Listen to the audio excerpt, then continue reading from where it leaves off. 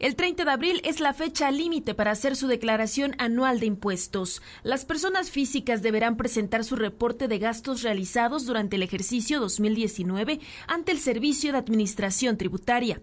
Hay que estar muy al pendiente de lo que diga la página del Servicio de Administración Tributaria.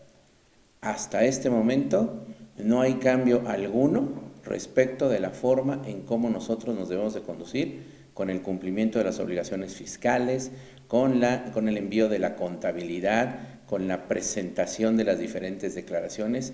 Deben presentarla todas y todos aquellos que obtienen sus ingresos a través de servicios profesionales, actividades empresariales, arrendamiento, dividendos, enajenación o adquisición de bienes.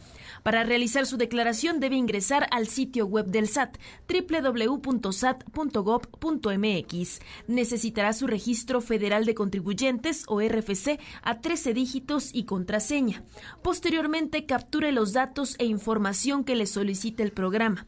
Firme su declaración y envíela utilizando su e-firma o contraseña según sea el caso a través de los diferentes mecanismos que pone el SAT, las herramientas que pone en Internet, ustedes hagan todo lo necesario para que no tengan que salir de casa. Desde casa ustedes puedan llevar a cabo los trámites. Hay muchísimos, muchísimos trámites que sí pueden ustedes llevar a cabo eh, desde casa. Después de enviar la declaración, recibirá un aviso confirmando la recepción de los datos y acuse de recibo con el número de operación, la fecha de presentación y el sello digital. Imágenes de Neri Lucero para Set Puebla Noticias, Montserrat Navedo.